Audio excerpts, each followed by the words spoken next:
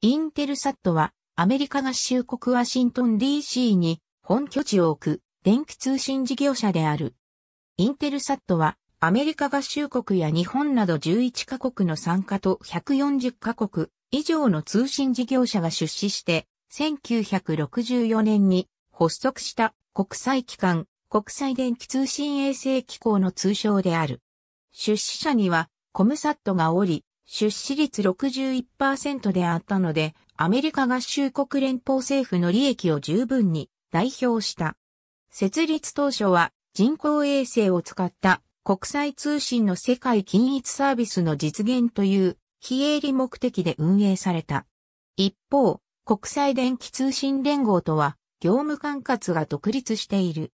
商業衛星通信システムの設置を進めるとともに、各国の通信事業者に対して通信衛星を使い音声や画像、データ通信サービスを提供している。1998年9月、コムサットはロッキード・マーティンに吸収合併された。インテルサット自体は1999年10月に開催された会合で民営化が決まった。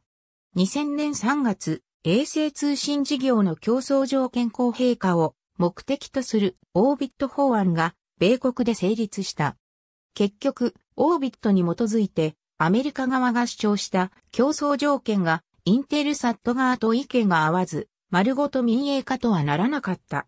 政府間機関国際電気通信衛星機構と新会社に分離することが決まり、政府間機関の監督の下で資産を承継した新会社がサービスを提供することになった。